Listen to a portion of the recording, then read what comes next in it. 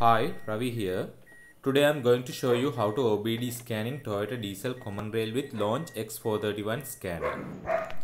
I know this is not a magic. All launch users can connect to Toyota Diesel simply as we connect to other vehicle through the launch scanner. Today I am working on Toyota Hiace KDH 1KD FTV engine and here you can see I am connecting to this vehicle by choosing Toyota from the vehicle list. So simple, scanner detect the VIN number automatically and will connect to the vehicle effortlessly. Then we can retrieve DTCs and live data information for the diagnostics. In the screen you can see I am connecting to this vehicle simply. But I have been complained by most of Toyota diesel owners who come to me got bad experience due to other shops in the area were unable to read live data stream while diagnosis. Let's see is that true.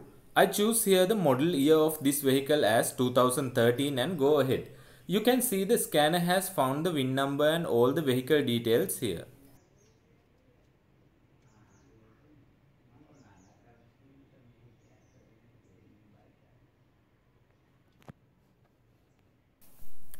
Nothing special, you can see we get the scanning function menu simply. I go to system selection and then powertrain. Select engine and looking forward to search any DTCs on the ECM as usual. Okay, hit on the read fault code. You can see engine no trouble codes. It should be because this is non-good vehicle. Okay, let's go back and pull the live data stream on this vehicle. Hit on the read data stream. Okay, here you can see entire data list on this vehicle. Look at the bottom of the page. There are only total 23 data pits available for this vehicle. Okay, let's roll over the page and try to find important data pits which can helpful for diesel common rail diagnostics such as rail pressure, EGR information, fuel injection, etc. Nothing we can find such important data throughout this poor data list. So let's go back and reconnect to the vehicle in right way to pull the important data. I will guide you for that. Go to backward and stop in the set area selection page. Hit on the set area and then select North America as the area. This is just a trick to retrieve important data. Then select 16 pin DLC and go ahead as usual. Normally when we select Toyota, default set area is Japan. For Japan selection, we got poor data list for this vehicle.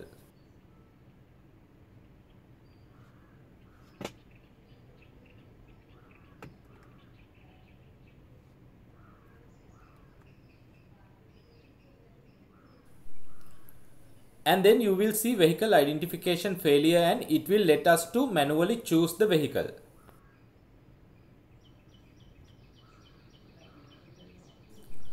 Okay, choose your right vehicle from the list.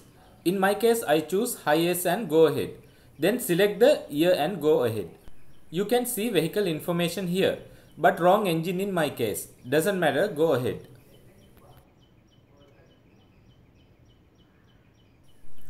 You can get the health report as usual.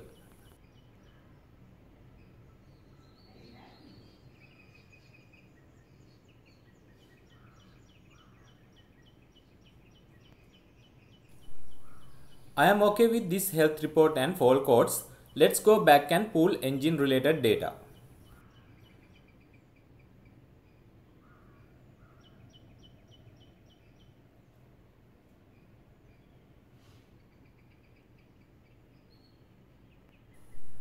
Select read data stream. Look, you can see here 166 data bits which should be normal around for diesel common rail EFI engine. I select all here. Look, all the important data bits are available for better diagnostics.